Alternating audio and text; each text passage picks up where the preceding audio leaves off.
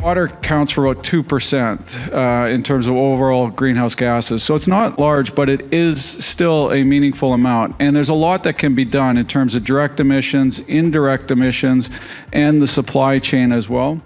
How do we start to cope with some of these increased demands uh, in terms of both increasing populations that um, our water utilities need to provide for, while at the same time handling the challenges of doing it in a lower carbon future?